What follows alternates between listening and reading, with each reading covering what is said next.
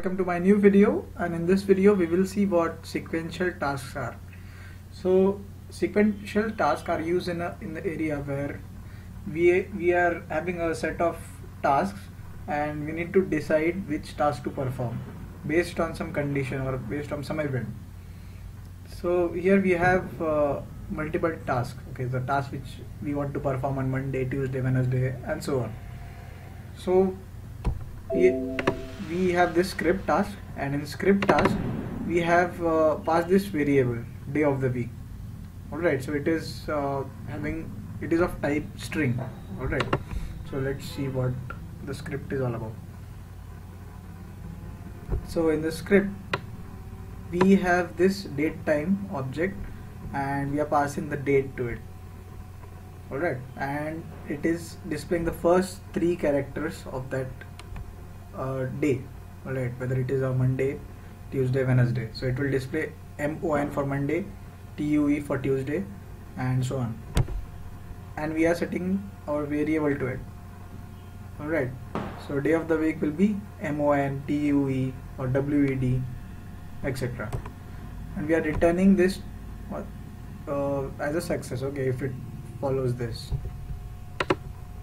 And what we are going to do we have this sequential sequential task. So let us sequential container sorry.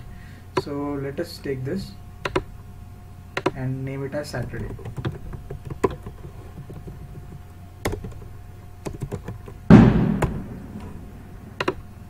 So inside this container we have multiple tasks so which will be performed. Mm. Now what we are going to do we will check if the first three characters of uh, day of the week are sad.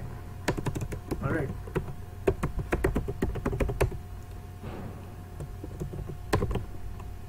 if it is equal to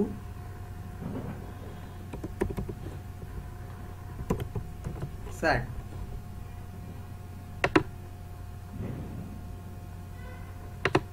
sorry it should be in double quotes.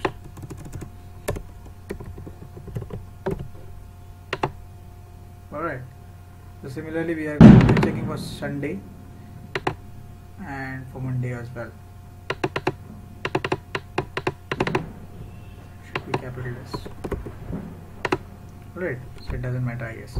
So let us execute this. So today is Saturday and it should display Saturday. Alright so it, it is executing this task which are inside this container task container. Alright. So that's it. Thank you for watching guys. And if you got something from this video do, do click on the like button to subscribe share this video and comment if you want. Thank you